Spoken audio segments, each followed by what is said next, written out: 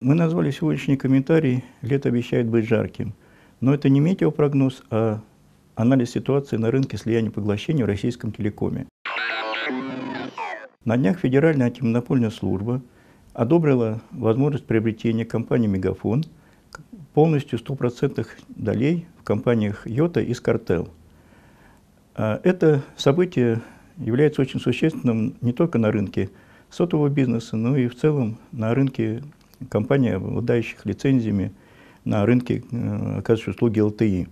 Дело в том, что Мегафон уже владеет контрольным пакетом компании «Йота» и «Скартел», и приобретение 100% только увеличивает долю присутствия и возможности технологические, операционные компании «Мегафон».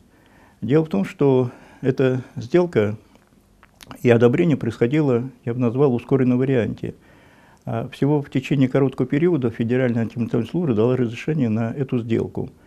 А почему это произошло? На наш взгляд, в этом есть большая заинтересованность, прежде всего, акционеров Мегафона и с картелла Йоты – они выигрыши останутся от этой сделки. В этом заинтересовано наше уважаемое Министерство коммуникации и связи, которое активно занимается внедрением ЛТИ, и оно надеется, что таким образом будет преодолено это пресловутое цифровое неравенство. Дело в том, что сегодня Скартел оказывает услуги только в городах-миллионниках, и есть надежда, что в связи с приобретением мегафона и с его ресурсами, как технологическими, так и финансовыми, мы сможем получить услуги ЛТИ и в городах не миллионниках, и не только в областных центрах, но и в тех, в которых еще испытывается большой дефицит, в том числе и в услугах интернет. Казалось бы, лето – одно из самых э, неблагоприятных периодов с точки зрения слияния поглощений. А инвесторы ждут ожидания результата хотя бы от первого полугодия. А служба департамента слияния поглощений тоже находится кто в отпусках, кто в ожидании новых проектов, но э, новостные ленты сообщают нам о новых фактах. Следующий сюжет я назвал бы «Москву, Москву любой ценой». И речь идет не только о аналогии с э, тремя сестрами чеховскими, а прежде всего идет речь о операторах, которые по тем или иным причинам не, не вхожи на столь перспективный, столь лакомый рынок московского столичного региона. Прежде всего идет речь о том, что та же Федеральная служба одобрила возможно приобретение компании «Эртелеком», компании «Акада». Таким образом, мультисервисный и мультирегиональный оператор имеет реальные шансы войти на столь желанный рынок не только э, столицы, не только московского региона, но и Санкт-Петербурга. Конечно, цена вопроса и входной билет в Москву достаточно велик, даже с точки зрения российского телекома, привыкших к большим ценам. Примерная стоимость сделки оценивается в 1 миллиард 10 миллионов долларов – при этом долг э, АКАДа составляет в районе 390-400 миллионов. Таким образом, Эртелеком должен заплатить порядка 600 миллионов долларов за входной билет в Москву. Но на наш взгляд, конечно, овчинка стоит выделки. С, с возможным приобретением АКАДа Эртелеком входит в большую шестерку.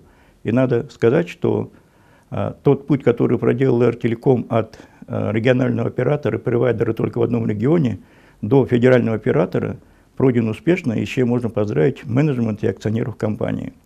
Другим входным билетом заинтересовался Транстелеком. Дело в том, что он тоже, несмотря на то, что имеет огромную разветвленную магистральную сеть и активно участвует сегодня на рынке регионального покрытия ШПД, в том числе и путем слияния поглощения, надо отметить, что Транстелеком сегодня один из самых реальных и активных участников на этом рынке – Каждый месяц мы получаем сообщения о приобретении того или иного регионального провайдера, и мы знаем, что в планах компании заложены средства и есть намерение продолжить эту экспансию на региональном рынке. Но, естественно, приобретение компании Freshtel, о которой идет уже речь в течение года, станет знаковым событием и не только для российского рынка, но и в целом для Транстелекома. Дело в том, что Freshtel, несмотря на то, что обладает малой абонентской базой, он располагает очень привлекательным, замечательным активом в виде лицензии на всю Россию и частот в диапазоне 3,5 ГГц. И эти частоты распространяются на Москву и Санкт-Петербург, где Транстелеком до сих пор не присутствует. Поэтому, конечно, а, цена, которую предполагается заплатить Транстелеком в районе 200 миллионов долларов, может и вызывает а, вопросы у аналитиков, но у людей, которые знают, что а, для Транстелекома это вхождение на рынок является важным, думается, что цена уже не представляет такой большой. Конечно, надо сделать допущение в том, что все эти одобрения и возможные планы по обретению осуществятся только тогда, когда произойдет, собственно говоря, юридическая и финансовая сторона сделки.